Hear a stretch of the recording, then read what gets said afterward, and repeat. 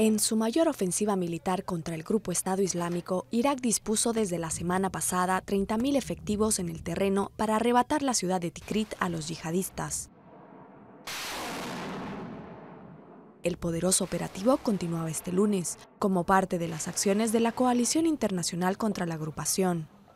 La ofensiva coincide con la visita a Bagdad del jefe de las Fuerzas Armadas de Estados Unidos, el general Martin Dempsey. El militar llegó el sábado y este lunes continuaba sus reuniones con autoridades iraquíes. En una rueda de prensa, Dempsey, la mayor autoridad militar estadounidense, afirmó que el grupo Estado Islámico será derrotado. Llamó a los milicianos con un nombre en árabe que los yihadistas consideran despectivo. El Daesh va a ser vencido y será vencido por la coalición que se ha organizado para derrotar esta amenaza común.